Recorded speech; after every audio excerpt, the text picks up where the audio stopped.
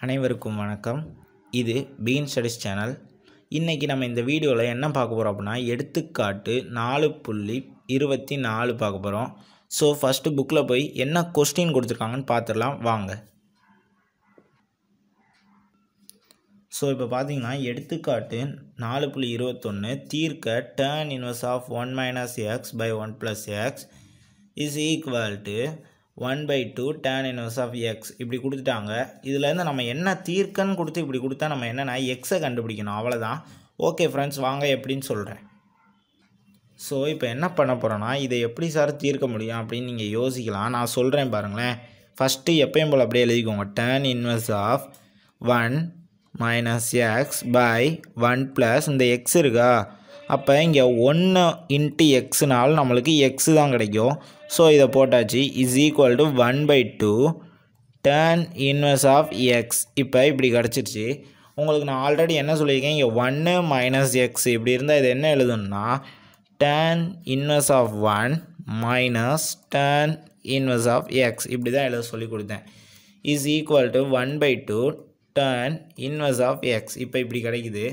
இப்போ இதுக்கடுத்து நீங்கள் டேன் இன்வர்ஸ் ஆஃப் ஒன்னோட மதிப்பு பை பை ஃபோர் அதாவது நாற்பத்தஞ்சு டிகிரி இந்த minus tan inverse of x அங்கிட்டு போகும்போது ப்ளஸ் டேன் இன்வெர்ஸ் ஆஃப் எக்ஸாக மாறும். அப்போ one by two tan inverse of x plus tan inverse of x இப்படி கிடைக்குது. இப்போ ஆல்ரெடி உங்களுக்கு இது என்னன்னு தெரியும்.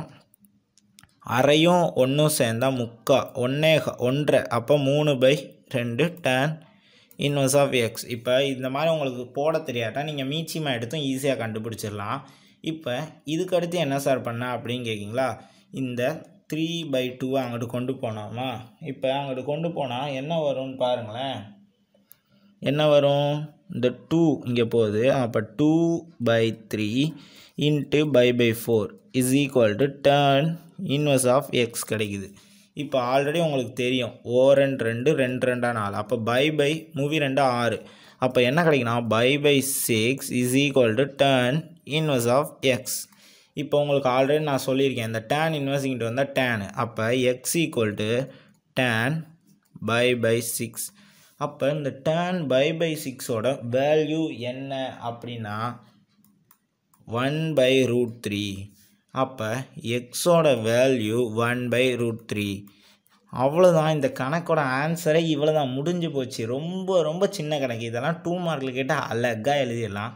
ஓகே ஃப்ரெண்ட்ஸ் இந்த வீடியோ உங்களுக்கு பிடிச்சா லைக் பண்ணுங்கள் ஷேர் பண்ணுங்கள் கமெண்ட் பண்ணுங்கள் நம்ம பிகின் ஸ்டடிஸ் சேனலுக்கு சப்ஸ்கிரைப் பண்ணுங்கள் தேங்க்யூ நம்ம நெக்ஸ்ட் ஒரு நல்ல வீடியோவில் சந்திக்கலாம்.